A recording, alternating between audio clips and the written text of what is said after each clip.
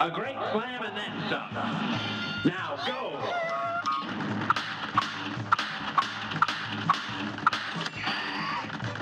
go.